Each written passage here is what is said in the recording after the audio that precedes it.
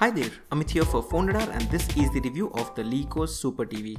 LeEco has launched three new smart televisions in India, all of which will come with inbuilt Wi-Fi, ensuring that you can easily cast the content through the internet.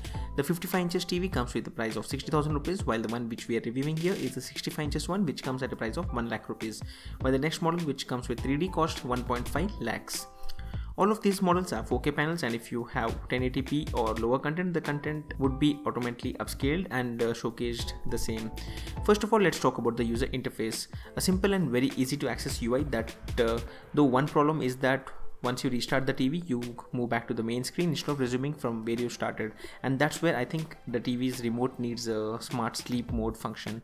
Moving on to the content which is set up into ma three major sections. The first one is a regular TV that connects to your network like uh, Dish TV or your Airtel and that's where you can watch the regular TV content. The second one is the replica of your TV but the content is seeded through the internet through the YuppTV broad application. Over time we found that this is the second best application on the TV because the content plays without any buffer and the app works perfectly. And finally is the app section which has an array of different applications and features. Starting off with the LeVidi app that's powered by Eros Now content showing you the latest movies all of them in full HD though they have been upscaled beautifully giving you a feel of 4K content. This is one of the partnership that makes it worth buying this television. Once out of the LeVidi app, you have the store, browser and few of the system tools apart from the applications you can download from the internet or sideload them or you can down directly install them from the app store itself. We tried and tested a few applications like the JioFi, Netflix that worked like a charm, though not initially but after their recent firmware updates, most of the software issues have been fixed. If you notice on the Netflix application too, we have been getting these errors, but we cannot blame LeEco here because uh, this is not a pre-installed application.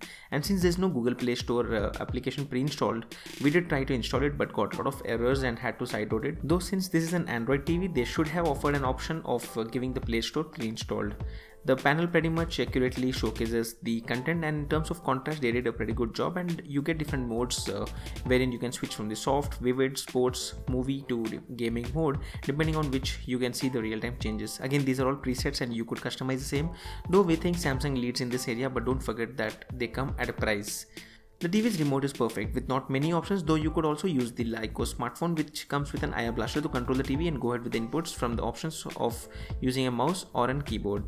Talking about the TV design, the TV is amazingly thin and out of excitement we did the unboxing and the stand mounting ourselves, which is where we realized that we may end up breaking it considering the large form factor, though once it was wall mounted, you're all sorted.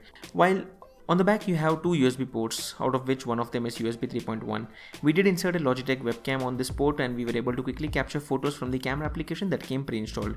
Apart from that, you can also make use of the three HDMI inputs where you can plug in your Android TV or else your Amkette uh, or else your Google Chromecast or any other device which you can easily use. And we were able to connect the USB pen drives and our hard drives and we're able to play most of the regular file formats like the MP4, DAT, MKV and which is a good thing for most of the users. In terms of the pricing, this is one of the best television panels for the price considering that you get a super large uh, 65 inches TV at less than 1 lakh rupees. In terms of the comparison, Sony's similar TV cost 3.5 lakh while Samsung's TV cost 2.4 lakhs and the closest competitor we saw was Vu which cost 1.2 lakhs at this moment. This is where you need to take the call because LeEco isn't just another brand since they have many of the products under the portfolio starting from smartphones to even electronic cars and uh, the free licensed content does add up a lot of value for the money you spend here. Overall a good product that you can purchase. If you think this review of the LeEco TV is useful for you then don't forget to hit the thumbs up button and share it with your friends and share subscribed. This is Amit and I hope to see you guys in the next video. Thank you.